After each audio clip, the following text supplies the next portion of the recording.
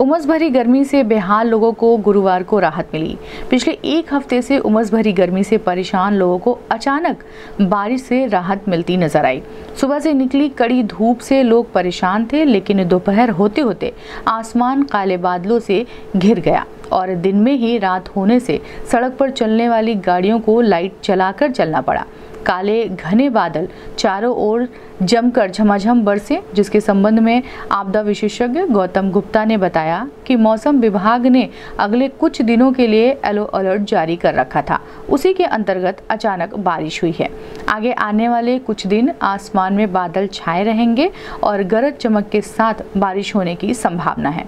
ज़िले में किसी प्रकार के जनधन की हानि की सूचना नहीं है। इस संबंध में गोरखपुर न्यूज़ से बात करते हुए आपदा विशेषज्ञ गौतम गुप्ता ने कहा।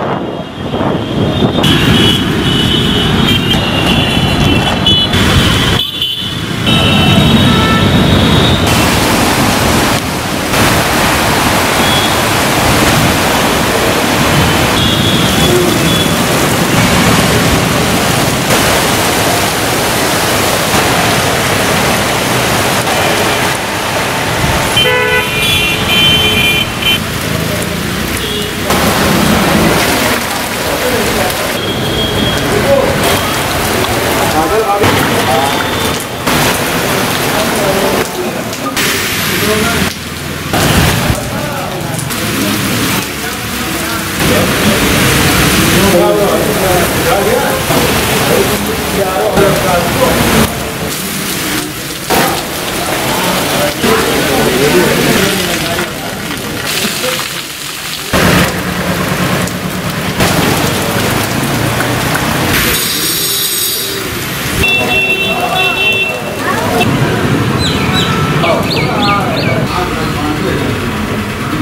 के लिए आ गए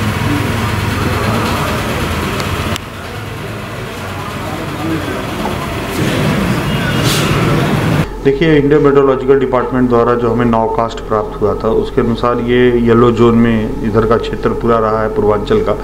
और अभी जो उनकी जो रिपोर्ट प्राप्त हुई है, उसके अनुसार आगामी तीन चार दिनों तक वर्षा होने की संभावना बनी रहेगी। कुछ जगहों पर गरज के साथ छींटे भी पड़ेंगी और कुछ जगहों पर वज्रपात होने की भी संभावना बताई गई है उसके अनुसार। तो इस समय तो अभी दो तीन दिनों तक वर्षा का बना रहना लाजमी है, क्योंकि रिपोर्ट इस तरीके से बताती है।